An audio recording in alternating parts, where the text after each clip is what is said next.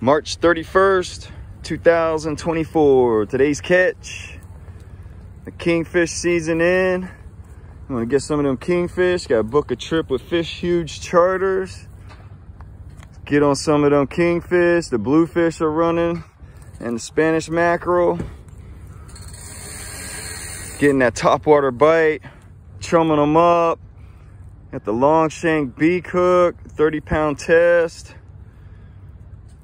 Throw back a bunch of live bait. Watch them bust it.